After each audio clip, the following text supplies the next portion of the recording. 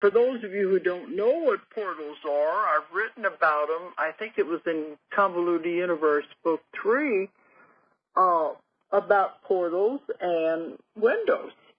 And a portal is supposed to be something you can go through, you can travel through to go through time or go into another dimension.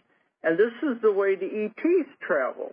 They go back and forth through through dimensions. They don't have a certain kind of fuel for their craft to go so many miles an hour to get out to that next star. It's done with lowering the vibrations and frequencies of the craft, just like in uh, Star mm-hmm. Trek when they just say mm-hmm. mm-hmm. engage and there right. they go. Right.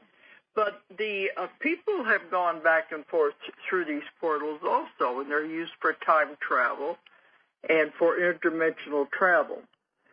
But that's a portal. There's also windows.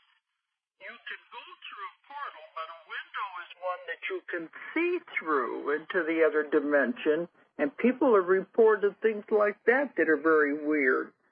But you can see through, but you can't travel through. And in one of my sessions, it was interesting uh, they said they had portals that you could move, and I didn't know you could move a portal. Mm-hmm. I thought it was stationary right. in one place. Right. And they said, oh no, we can move them if we have to. Mm-hmm. So I'm always learning something new that it is possible to move a portal from one place to the other.